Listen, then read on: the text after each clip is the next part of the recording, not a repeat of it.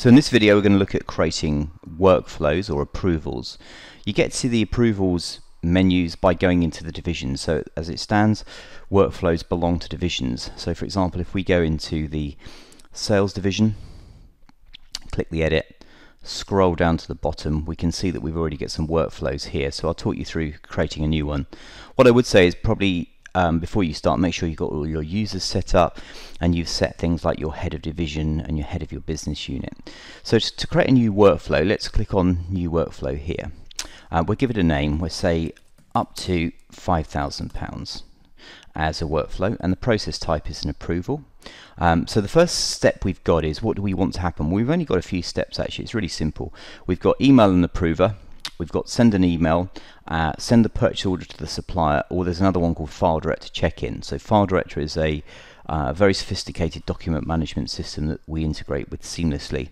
And for those who want advanced document management and super sophisticated approval workflows, we can check the document into, work, uh, into File Director, uh, do the workflow or approval there, and then have it come back into Zahara afterwards.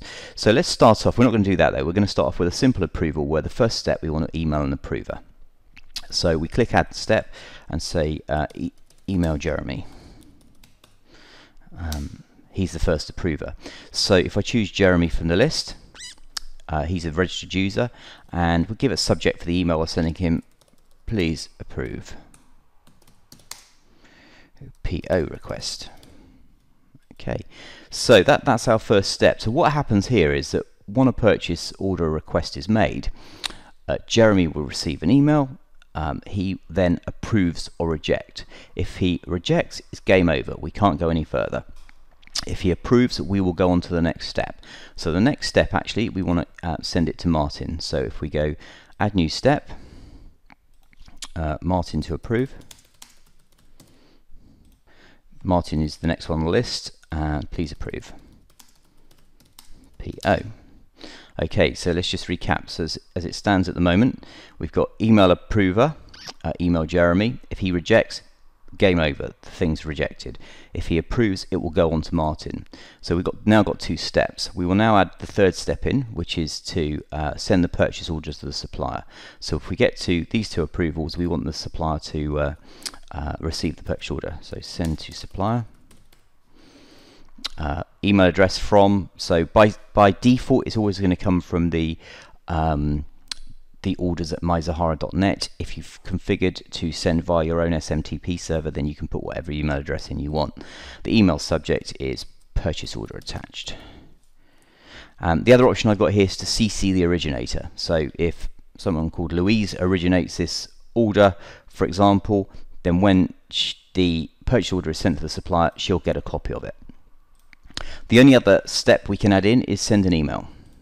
So this is send generically send an email to anyone. So send email to accounts.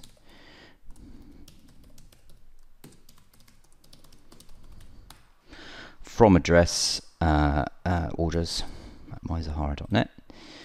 Uh, new order raised. Okay, so we've got a four-step process here. Email Jeremy, email Martin, send the purchase order to the supplier, and then send a generic email to the accounts department telling them to log in and check it. So if I now create that process, we drag down to the bottom, we've now got our different approval processes with one called PO approval, one's a file director approval, one's a director approval, but the one we've just created is called up to £5,000.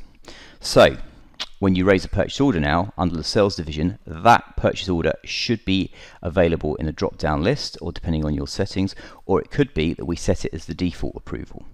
Um, so let's go and look at some of the settings that you can apply around approvals as well. So if you go into business and settings, first things first, you've got a whole bunch of templates that you can configure. So we have got the email that goes off to the supplier. We've got the purchase order template that you can manipulate. So we do have a WYSIWYG editor, but uh, for real control, get into the HTML and make it look exactly the way you want it. And what you'll find is that under um, insert, uh, you can will find insert template. We've got all of the field values that you can drop into the uh, template or any of the emails are there ready for you. We've also got the approval email So we now have the email that goes to the approver having quite a bit of narrative about the email itself. So the supplier, the purchase order number, the date created, the amount, and the internal comments field. We've also put in a green approve link and a red reject link. Um, so if somebody wants to approve that email, uh, that purchase order while they're on the move, without even looking any further, they've just seen the supplier, the, the date, and the amount. They're, they're fine with that. They can approve it they can reject it, or if they want to go back to the page and add some comments, they can review with this link. So that's our standard kind of email template for an approver that you can override at any time. We've also got the purchase order rejection email here. So if at any time the approver rejects, the originator will get an email back from uh, Zahara telling him or her that it's been rejected.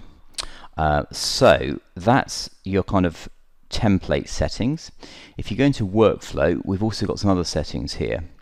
Uh, we've got uh, notify the originator of document workflow update. You can toggle this on or off. What this means is uh, that the originator can be sent emails at every step of the workflow process. So it's a simple one-line email saying that you know now gone to Barry for approval, now gone to Sarah for approval. Um, there's a couple of other settings here as well. The first one is allow orders to be requested on behalf of another user.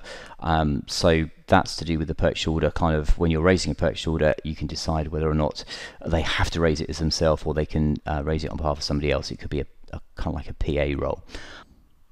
The other toggle we've got here is to do with um, a purchase order that's in a workflow and it gets edited. Perhaps the accounts department go in there and uh, add some nominal codes or some tax codes or something. Uh, rerun document workflow on update would mean that once the uh, uh work uh, the purchase order is uh, edited, then we rerun the workflow and kick it off again. So you can switch that on or off. If you leave it off, then it continues on its workflow um, regardless of, of any edits that have been made on it. Okay, so that concludes setting up uh, a workflow what we do now is uh, there's another video which we're going to do about kind of workflows in action. So have a look at that and see the outcome of the settings you make. Thanks for watching this one.